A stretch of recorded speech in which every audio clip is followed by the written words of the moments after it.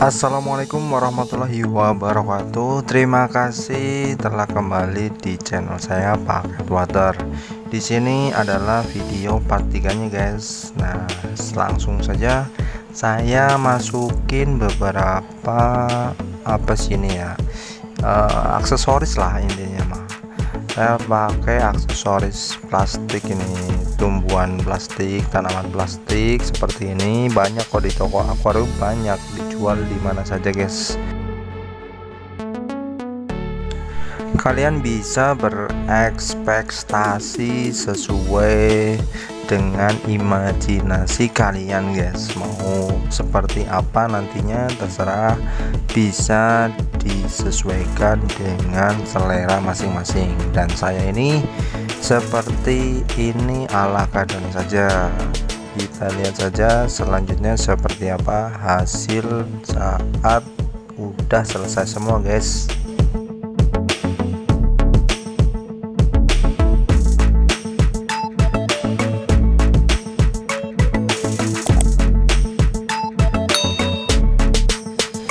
Saya juga pakai karang jahe yang dilem biar satu sama lain nempel guys.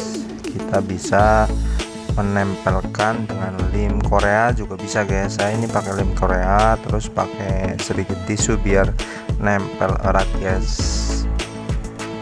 Bisa juga pakai kapas guys untuk menempelkan bagian dan di lem Korea guys.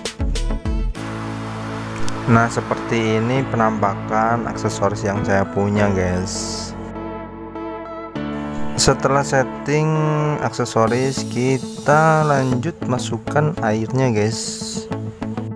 Jangan lupa pakai plastik seperti saya guys. Dimasukkan di ujung selang guys. Terus diikat biar saat air keluar dari selang itu menabrak ke plastik dulu guys. Nah plastiknya dibolongin aja kecil-kecil biar bisa smooth guys keluarnya.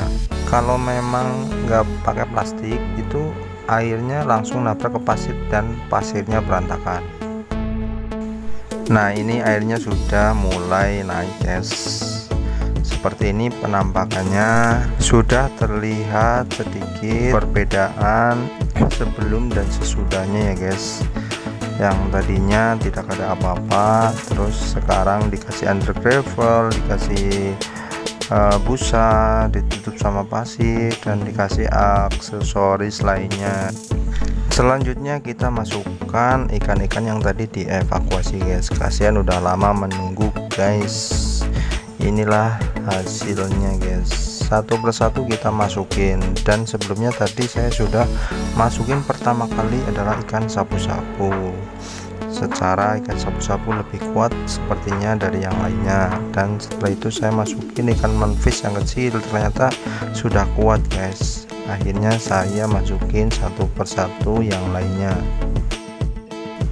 Jika memang kalian punya aerator mending ditembak aerator agar oksigen di dalam air akuarium yang baru saya isi ini. Maksudnya yang baru kalian isi bisa meningkatkan kadar oksigen lebih cepat guys. Kalau saya ini lumayan menunggu dulu guys.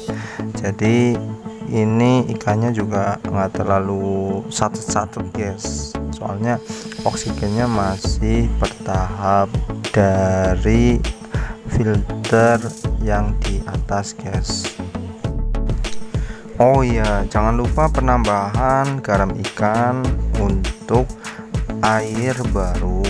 Dan kalau saya ini pakai juga obat biru atau Medline Blue guys.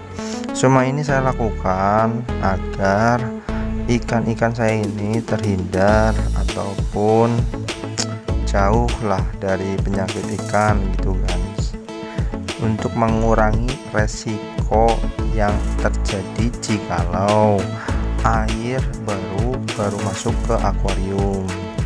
Nah saya ini pakai air sumur jadi kadar kapurnya masih tinggi jadi bisa di netralisir ataupun distabilkan pakai garam ikan guys. Nah untuk obat birunya ataupun metren blue itu untuk pencegahannya guys agar ikan ini sehat selalu tidak terkena penyakit misalkan white spot ataupun jamur pada kulit ikan begitu guys ceritanya. Oke okay guys segitu saja video under gravel dari unboxing pemasangan sampai setting seperti ini dan jadinya seperti ini guys terima kasih telah menonton video saya. Semoga video saya bermanfaat. Dan jikalau ada salah kata atau pemahaman dan atau menyinggung hal lain saya mohon maaf sebesar-besarnya. Jangan lupa subscribe like share dan komen ke channel saya. Semoga dapat berkembang. Akhir kata dari saya wassalamualaikum warahmatullahi wabarakatuh